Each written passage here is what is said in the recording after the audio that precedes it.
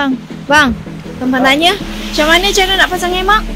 Ha? Pasang hemok? Ada pasang hemok? Ha ah. Ah, kebetulan ada hemok ni. Senang je. Jom. Okey. Cara pasang hemok ni ada banyak jenis. Ada banyak cara. Pakai tali macam ni. Ataupun pakai webbing. Nanti webbing saya tunjukkan. Okey, ni tali eh. Tali ni dia dengan baja ikatan. Okey. Mula-mula kita buat macam ni. Okey, masukkan ke dalam ni. Kan? Ha, senang je.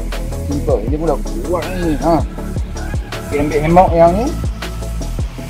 Hemok. Pastikan hemok tu dia ada karabiner macam ni. Okey, cara dia adalah senang. Pegang macam ni. Dia dekat sikit. Ha. Pegang macam ni. Ambil di sini. Kita boleh buat kat mana? Sini boleh. Ha, kita boleh adjust mana-mana kita nak.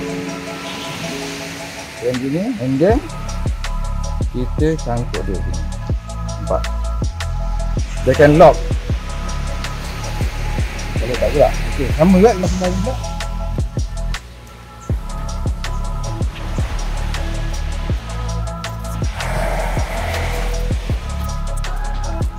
Okey, sama juga. Ini dia punya karabiner yang sebelah lagi. Walaupun dia pendek pun boleh juga. Pendek macam ni.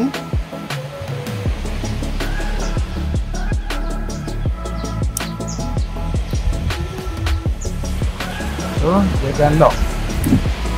Dan juga lock untuk kita tarik. Yeah. Nampak? Woo!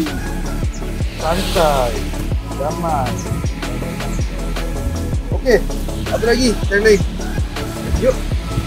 Eh, kamu buka senang, buka. Di sini kecil. Nampak senang. Kita terus macam ni. Dia lerai.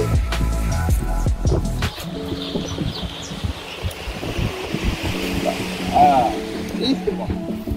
Okey, ini pun magic. Ah.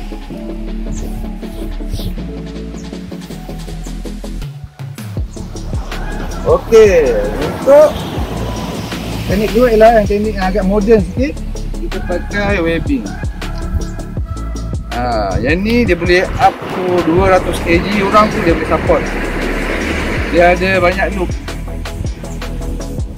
Ha, sesuai untuk pokok yang jauh. Yang dekat pun boleh, salah. Dia pusing, pusing, pusing. Kalau dia dekat kan, dia panjang sangat. Lepas tu yang ni,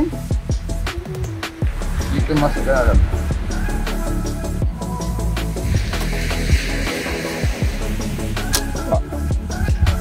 Ini lagi senang sebenarnya, tak ada ikatan, tak ada apa. Kemudian kita masukkan ke dalam loop. Okey. Sama juga yang sebelah lagi.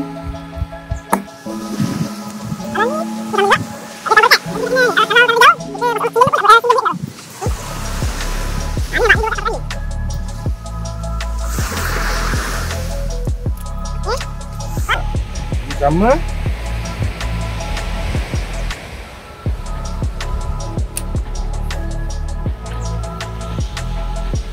Kalau macam ni lagi kuat. Dia menampung 200 kilo.